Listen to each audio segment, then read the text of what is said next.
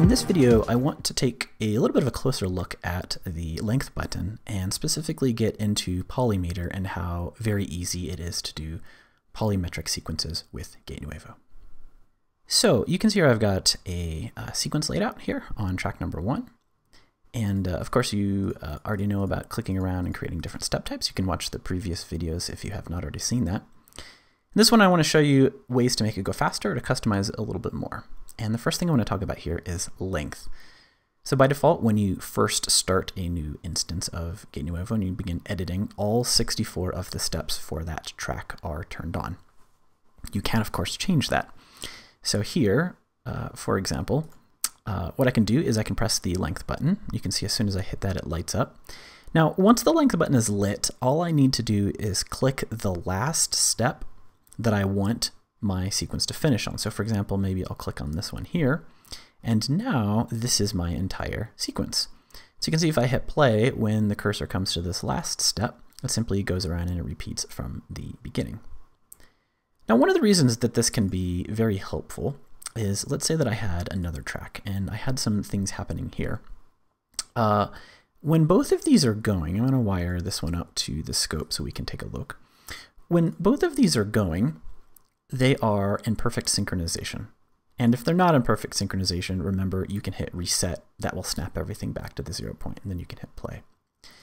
One of the cool things about length, though, is that by shortening the length of one of my tracks, what I have done is I have created polymeter.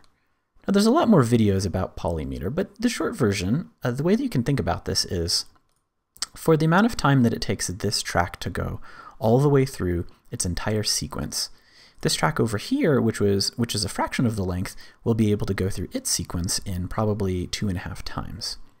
Now what this means is that over time, the steps don't line up. They change. They go out of sync and then they come back in synchronization.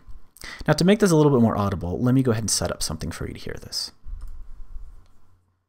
All right, so I've added a couple of modules here to the setup. You can see that there are now two tom drums. One of them is a low tom, one of them is set to be a medium tom. Each of these are going to go in the output so we can listen, and the scope is still set up to allow us to hear this. Now I'm using two tracks here. So you can see on track one, I have this pattern where we're going to play on the first beat. Uh, we're going to play on every fourth beat for the bar.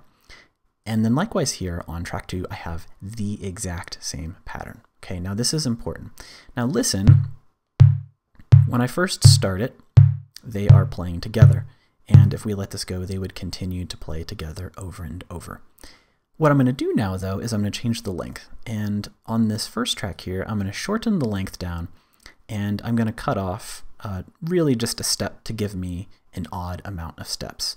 So this track has an odd amount of steps, and this track still has all of its steps. Now listen to what happens. The cursor will move along, and the first time it plays through, it will be in synchronization, but then as soon as the cursor gets here, on the first track, it's going to jump back. Now each time this cursor jumps back, what you'll notice is the amount of timing between the two tracks changes, and this is the key characteristic of polyrhythm. So take a listen.